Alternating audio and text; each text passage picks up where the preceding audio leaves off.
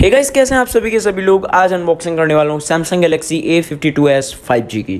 कुछ इस प्रकार का आपको बॉक्स देखने के लिए मिलेगा, सारी की सारी स्पेसिफिकेशन बता दूँगा मैं आपको। ऊपर A fifty two S five G लिखा हुआ है और नीचे सैमसंग की ब्रांडिंग है। तो चलो फटाफट से अपन बॉक्स को ओपन कर लेते हैं। बॉक्स को जैसे ही ओपन करेंगे, अपने सामने आ जाएगा मेन फ़ोन और मेन फ़ोन के बाद यहाँ पे आपको क्या मिलता है, वो भी मैं मैं आपको बता देता हूँ।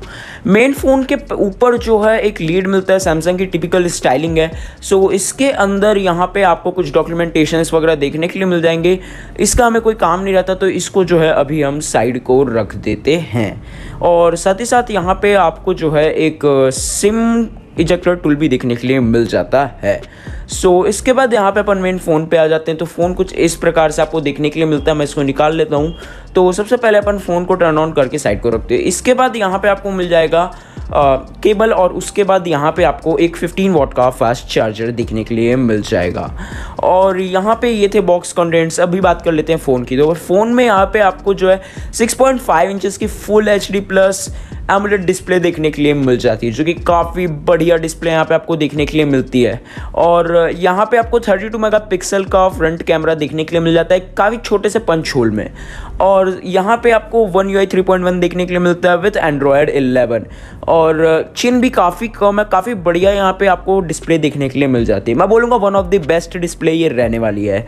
यहाँ पे अभी हम बात करें प्रोसेसर के बारे में तो यहाँ पे आपको मिल जाता है स्नैपड्रैगन का seven seventy eight G five G processor काफ़ी कमाल का प्रोसेसर है, हमको Realme G T master edition में देखने के लिए मिलता है और एंड्रॉयड इलेवन आपको मिलता है, ये मैंने आपको बता दिया है। सैमसंग का यहाँ पे आपको वन यू देखने के लिए मिलता है, ये गिग बेंच का मैं यहाँ पे आपको स्कोर शो कर रहा हूँ और साथ ही साथ स्क्रीन भी शो कर रहा हूँ। सो गाइज़ ये जो है प्रोसेसर काफ़ी बढ़िया यहाँ पे आपको देखने के लिए मिलता है। थर्टी टू मेगा पिक्सल का फ्रंट कैमरा यहाँ पे आपको देखने के लिए मिलता है, जो भी कि काफ़ी बढ़िया कैमरा है। और साथ ही साथ यहाँ पे जो चिन है और बेजल्स है, काफ़ी मतलब कम है। और बात रही यहाँ पे रेयर कैमरा की तो 64 मेगापिक्सल का क्वाड रेयर कैमरा देखने के लिए मिल जाता है। 64 मेगापिक्सल प्राइमरी कैमरा यहाँ पे आपको देखने के लिए मिलता है। और भाई बैक जो है अपने को सेम देखने के लिए मिल जाता है। बैक एंड फ्रंट लगभग सेम है। Samsung A fifty two five G की तरह। और भाई यहाँ पे आपको कुछ कैमरा सैंपल्स भी मैं दिखा देता हूँ। सो यहाँ पे मैं फ़ोटोज़ वगैरह खींच लेता हूँ और आपको कैमरा सैंपल्स यहाँ पे अटैच कर दूँगा। सो वो आप देख सकते हैं। सारे जो है मैंने नॉर्मल मोड में ही लिया है। कोई मैंने एक्स्ट्रा पोर्ट्रेट मोड वगैरह या फिर कुछ नाइट मोड वगैरह ऐसा क्लिक करके नहीं लिया है। जितने फ़ोटोज़ है सारे नॉर्मल मोड में। मैंने दो तीन फ़ोटो ही बस लिया ज़्यादा मैंने कैमरा रिव्यू इसका नहीं किया है। अगर आपको कैमरा रिव्यू चाहिए, अगर इसमें अच्छा रिस्पॉन्स आता है देन बना दूँगा कैमरा रिव्यू उसमें कोई दिक्कत नहीं है। सो so गैस ये था कैमरा का परफॉर्मेंस मैंने आपको दिखा दिया है। और मैं आपको बता देता हूँ एमुलेट डिस्प्ले देखने के लिए मिलती है, काफ़ी कम माल की डिस्प्ले है। ऑब्वियसली बात है सैमसंग की डिस्प्ले काफ़ी बढ़िया देखने के लिए मिल जाती है।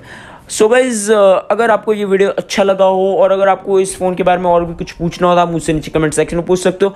अराउंड थर्टी थाउज़ेंड रुपीज़ जो है इसकी इंडियन प्राइसिंग रहने वाली है। Hope like this video tata bye, जय हिंद, वंदे मातरम।